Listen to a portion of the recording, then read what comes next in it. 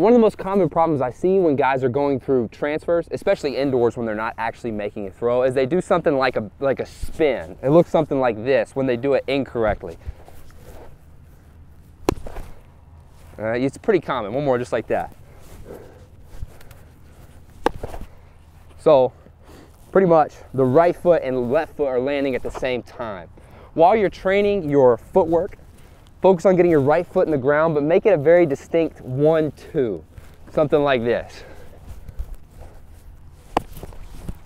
So you can see instead of spinning, my right foot gets in the ground and then I've got good direction going towards second base. All right, I'm gonna go ahead and chuck this one. Coming at you, Juan. Oh, that was a good one. Sweet. Cool.